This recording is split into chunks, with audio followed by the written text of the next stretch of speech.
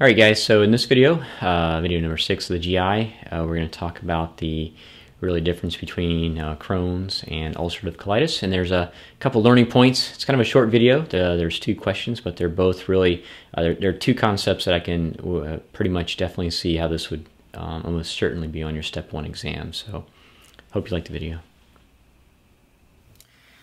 Okay guys, so this question reads, a 30-year-old female presents with a 14-month history of occasional diarrhea. She, she, also, she has also had complaints of abdominal pain.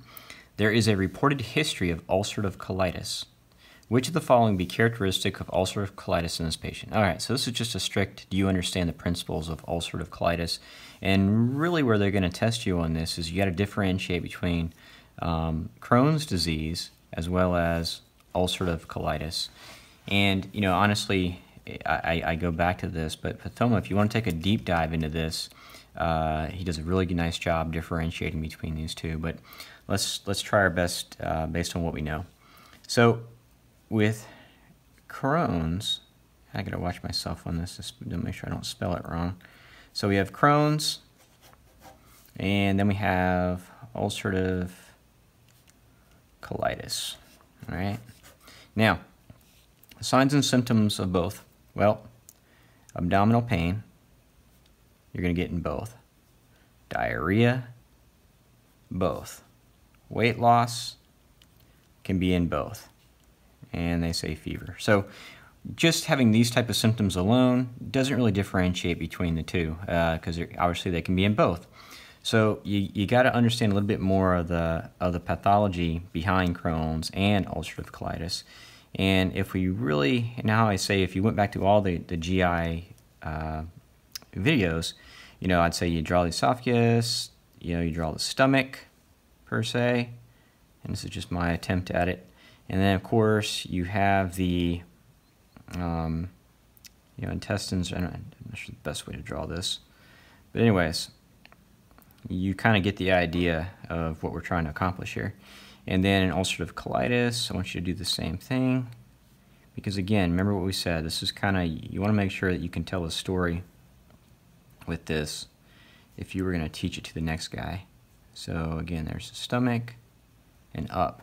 So then the question becomes, where does where do these occur? Now, in Crohn's, you know, you can have it kind of anywhere from, you know, up in the mouth region all the way down to the very bottom, okay? And it can be anywhere for the most part in here. Now, there's a couple spots that it really likes to um, hit, and the one that I want you to really focus in on is called the terminal ileum.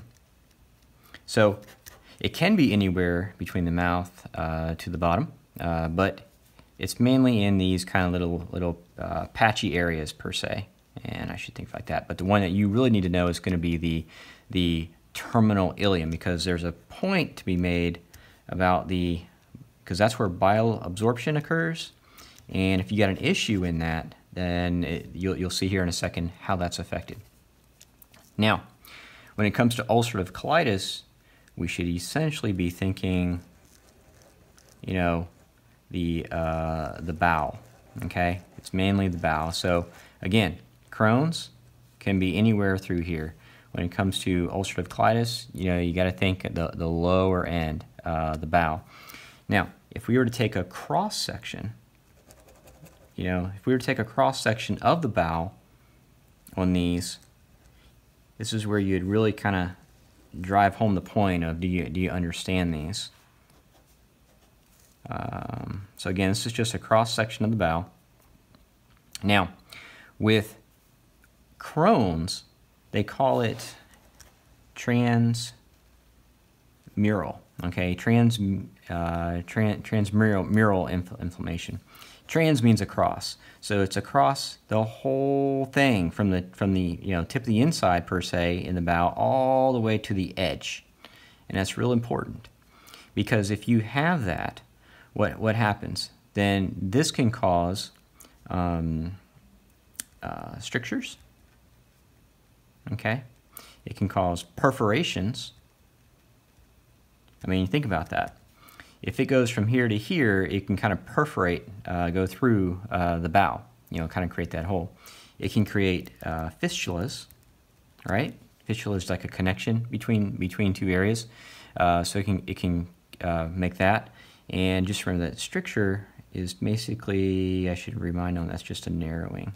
Okay, it's more of a, narrowing of the bowel, and it's also associated with that word cobblestone appearance. And notice how most of these things are over in Crohn's, okay? Not so much over on the ulcerative colitis, or mainly in the Crohn's, has all these transmural strictures, narrowing, perforations, fistulas, cobblestone appearance. And the mechanism behind that, as they say, you know, if it goes transmural all the way across, it's these good pieces will kind of uh, overlap, and that gives you that little um, uh, cobblestone, perhaps, appearance. Okay? Um, and it's also associated with that with the term non-caseating uh, granuloma. And really what that is, as they say, body, it's trying to wall off something, okay? Something it doesn't like. It's going to wall it off. Uh, so again, you'll get a non-caseating granuloma. So all these key terms associated with Crohn's, non-caseating, non-caseating granuloma, transmural inflammation, strictures, perforations, fistulas, cobblestone appearance, okay? Where? Could be anywhere from, you know, tip to tip, but where's the one that I want you to know? I want you to know terminal ileum. Why? Because there's an issue with the bile absorption, and there's questions they ask on that. Now, over to ulcerative colitis, we said it's here, you know, down in the bowel, but if we took a look at the bowel, is it all the way down? No, it's only going to be at the tips. And so it's almost like it's a right here. And so if it's always at the tips pretty much all the way through the bowel, that's why they call it a continuous mucosal involvement.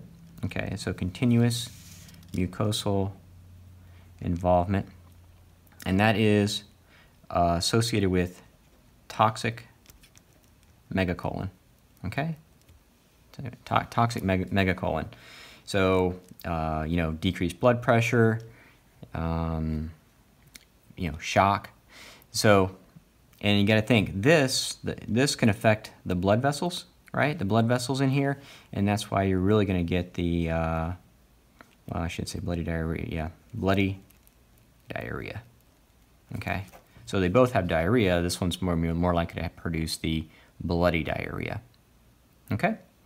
So that's how you're going to know between Crohn's and ulcerative colitis. They both have the same symptoms, abdominal pain, diarrhea, weight loss, fever.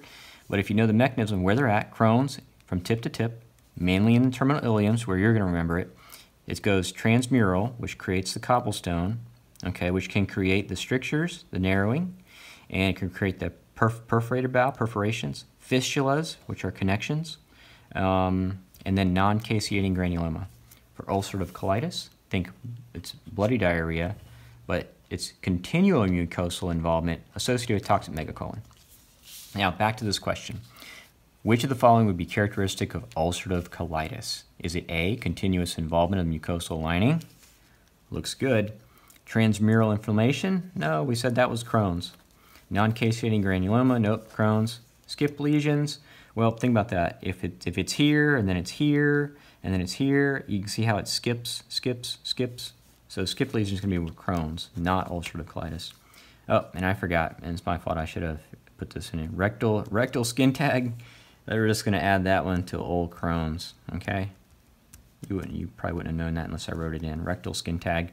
That's small player, but anyways, associated with Crohn's. The one that was obvious, the continuous involvement of the mucosal lining go A with ulcerative colitis. Even on step one, say you didn't even know that, say you didn't write that rectal skin tag down. The fact is, don't let that be a distractor because on step one, there's going to be answer choices where you're like, man, where did they dream that up at?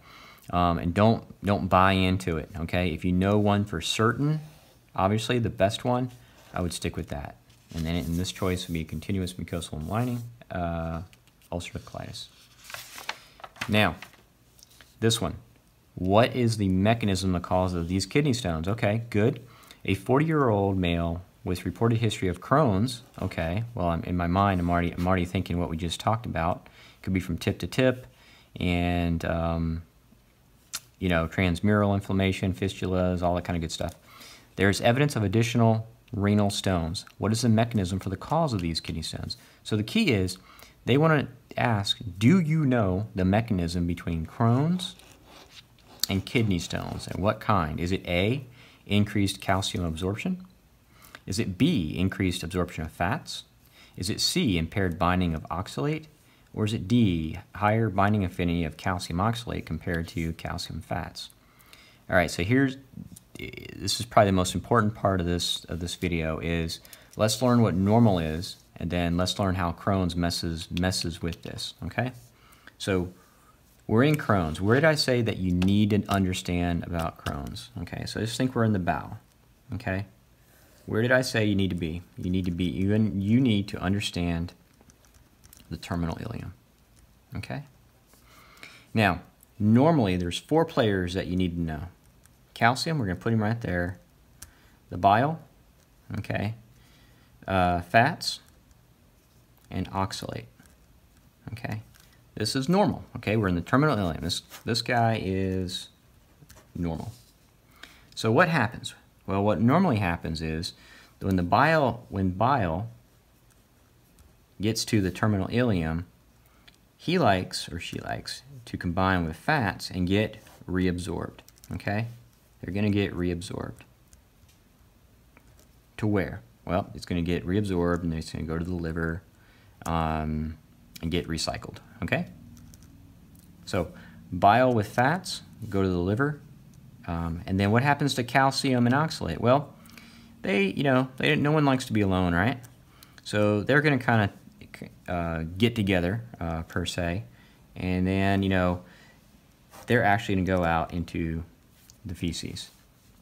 All right, so that's what happens normal. Now, maybe there's a little, there's a little mixture, a little bit goes in here. You know, there's there's also some nutrients that kind of get reabsorbed, maybe even some calcium.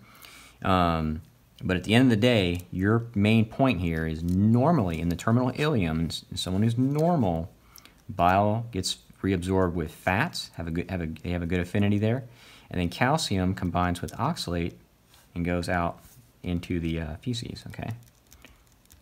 Or down the bowel, you know, down, you know, a little bit further down the pipe. Now, let's take that same scenario and say, well, what happens in the terminal ileum terminal ileum with Crohn's. Okay, and this person's got Crohn's. I got my same players, right? I got calcium, I got bile, I got oxalate, and I got fats. So, number one, in Crohn's, say I got issues, right? I got issues right there. So guess guess who's not going to get who is not going to get reabsorbed? Who gets ticked, ticked that they can't get reabsorbed? Bile. So bile says, man, if I, if I can't get reabsorbed, I'm not hanging out with anybody. I'm just going to head on down this way. Okay, so he gets pushed on out. So what happens to the fats? Fats are like, look, man, I should, I should be reabsorbed, but I can't now because bile doesn't, it's not going to. So, so what's going to happen to the fats? They got to pair up with somebody. So what are they going to do? they're going to pair up with the calcium. And when they pair up with the calcium, because there's a higher, a higher affinity there, they are also going to head on down the pipe and, and head on out. So who's left over? Who's left over with no one to go, you know, to, to go down the pipe with? Oxalate. So what's going to happen to oxalate? They get reabs, you know, reabsorbed too much, right? A lot more than they should. And so what kind of kidney stones happen in Crohn's? Because who's get, who gets reabsorbed back into it? Oxalate, okay? You gotta know that mechanism. Here's normal, here's what happens in Crohn's. Oxalate gets reabsorbed back in, and that can create what kind of stone? Oxalate, oxalate kidney stones. So, back to this one. What is the mechanism for the cause of the kidney stones? Is it increased absorption of calcium in Crohn's? well, wait a second, calcium never got really reabsorbed in this terminal ileum deal, so it's not that one. Is it increased absorption of fats? Well, fats normally go in, but in Crohn's they didn't go in, so it's not increased absorption of fats. Is it impaired binding of oxalate? Well, usually oxalate binds to calcium, but in this scenario, fat took its place, so that one's a possibility. Is it a higher binding affinity of calcium oxalate compared to calcium fats? So they're saying is it a higher affinity of calcium oxalate? No, actually there's a higher affinity for calcium in the fats than there was to calcium and oxalate, so it's not that guy. The correct answer, C, impaired binding of oxalate, okay? That's the mechanism that you have to understand in Crohn's uh, when it comes to the kidney stones, what type and what's behind it. This is, the, this is a really good, really good step one uh, level question, okay? Hope you liked the video.